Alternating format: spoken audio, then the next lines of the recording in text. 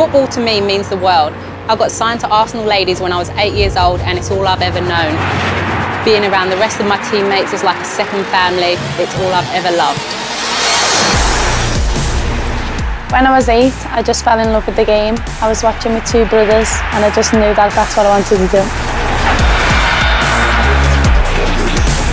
I'm very lucky to be able to call it my job and I enjoy every single minute of it. It's amazing to be a part of FIFA. I played it as a kid and now to be featured on it is like a dream come true. When you play, you always pick a boys' team because you have no other choice, and now you get to pick someone like me. It's a great opportunity for the girls to be involved, just shows how far women's football has come. Alex Scott, right back, England. Toni Duggan, forward, England. Lucy Bronze, centre half, England. Steph Houghton, defender, England. I'm in the game. We're in the game. We're in the game. We're in the game.